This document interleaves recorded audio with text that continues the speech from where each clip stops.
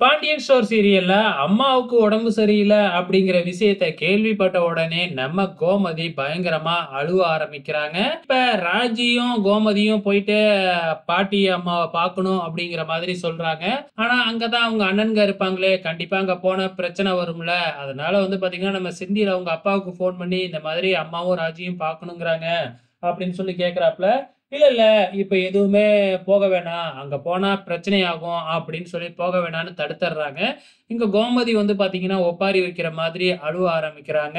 அந்த நேரம் பார்த்து அங்க ஊர்ல இருக்கிறவங்க எல்லாம் அதாவது வந்து பாத்தீங்கன்னா பக்க அக்கம் பக்கத்துல இருக்கிறவங்க எல்லாம் வந்து பாத்தீங்கன்னா கோமதி அழுவுறத பார்த்துட்டு அவங்க அம்மா உடம்பு சரியில்லைன்னு ஆஸ்பத்திரி அழைச்சிட்டு போனாங்க. ஒரு வேளை செத்து போச்சோ என்னமோ அப்படின்னு சொல்லிட்டு பேச ஆரம்பிக்கிறாங்க. அதாவது பொருளி அப்படின்னு பேசுவாங்க இல்லையா? பொருளி பேச ஆரம்பிக்கிறாங்க. என்ன ஏதுன்னு தெரியாமையே இங்கே ஹாஸ்பிட்டலை தான் காமிக்கிறாங்க. ஹாஸ்பிட்டலில் வந்து பார்த்தீங்கன்னா பாட்டிக்கு எதுவுமே ஆகவே இல்லை. டக்குன்னு எழுந்திரிச்சு ஏப்பம் விடுறாங்க. அவங்க சாப்பிட்ட சாப்பாடு தான் எதுவுமே ஒத்துக்கலையாட்டுக்கு.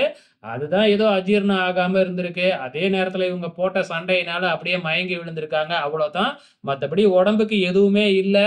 அதே டைம்ல வந்து டாக்டரும் செக் பண்ணிக்கிட்டு தானே இருக்காங்க. பார்த்துட்டு உடம்புக்கு எதுவுமே இல்லைன்னு தான் அவங்களும் ரிப்போர்ட் எழுதுறாங்க.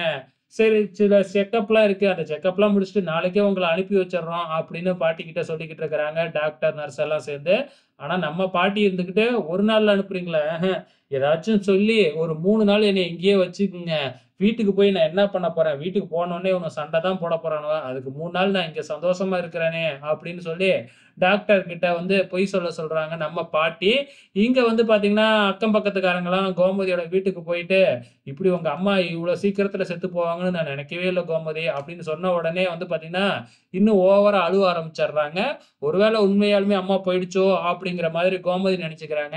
கடைசியா மீனா தான் எப்படியோ கேட்டு ஏங்க நீங்களே நினைச்சுக்கிட்டு ஒரு இதை சொல்லுவீங்களா? அப்படிங்கிற மாதிரி கேட்டு சொல்லிடுறாங்க.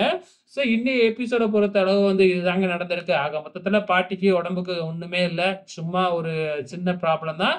வெயிட் பண்ணி பார்க்கலாம். இனி என்ன நடக்க போகுதுன்னு.